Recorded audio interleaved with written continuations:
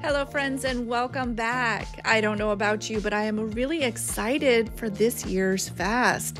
I was actually anxious for it. I'm usually not because, you know, it's it's kind of hard to put down those foods that we love, sugar, carbs.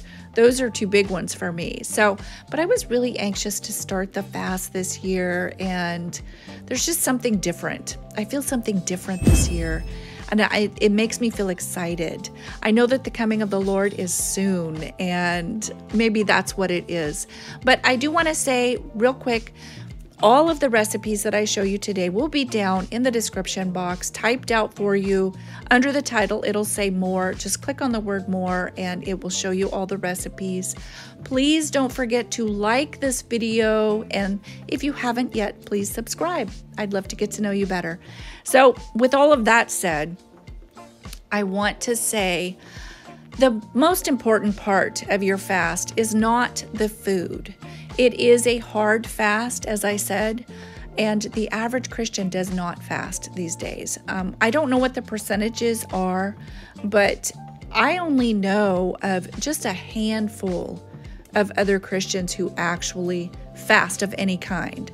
So if you are attempting this fast for the first time, or maybe you do it every year, I just want to say, may the Lord bless you richly. Maybe may his favor be on you because you are doing something that the Bible tells us to do, and I know that the Lord will bless you for it. So I I want to say when I begin the fast every year, what I start praying for in the beginning is forgiveness for others. The Bible tells us that when we forgive others, the Lord forgives us. When we ask for forgiveness, it's important. It is a very important thing to forgive others, and it softens you. And that's what we need. We need soft, humble hearts. So when you are willing to forgive other people, it does show a softness, and that is important. We need servant hearts to regard others as more important than ourselves. And that is what that is showing in you. So, I want to say also that reading your Bible is very, very important. It is knowing the Lord, it is learning who He is. And that's part of a relationship. When you are in a relationship with someone, you're faithful to them, right? You're not going to wear another boy's ring or, you know, do those things that are questionable. You're going to be faithful and you're going to get to know that person. You're going to spend time with that person. So that is what we're doing right now during this fast. We're getting to know the Lord. We are coming to Him with requests for this coming year. We're wanting His favor, His guidance, His leading through this year, um, His protection. And most of us pray for our family members as well. And especially for those that are not saved, we are praying for the, those people to have softened hearts, to receive the, the opportunities that are put before them. Every single person on this planet is given the opportunity to know the Lord, to accept Him, and we have free will. So I always pray for those family members who have not accepted Him yet to take that step and accept Him and dedicate their lives to Him. And I also pray that my church family grow spiritually and that our relationships would become stronger. And, you know, the Bible tells us that iron sharpens iron.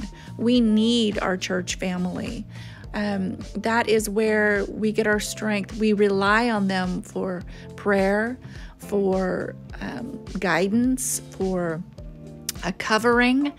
And, you know, you look at a sheep, a sheep by itself is prey. It's easy prey, but there's safety in numbers. And that's why it's important not to neglect the assembly, but make sure and find a good church. You know, even these days, it's kind of hard to find a church that is going to fit all of the requirements that you have. Everyone has their own requirements. You know, just go to a church. You feed yourself at home with prayer and reading. If your church is not feeding you, feed yourself at home. But the act of going to a church and being part of an assembly is very, very important.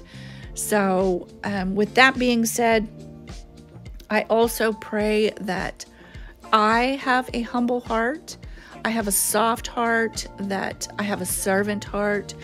The Bible tells us to regard others as more important than ourselves.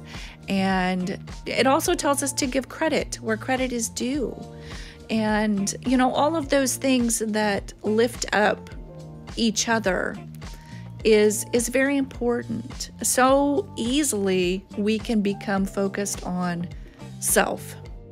So in future videos i do want to talk about where we're at in time and what's happening in the world and how it pertains to us now.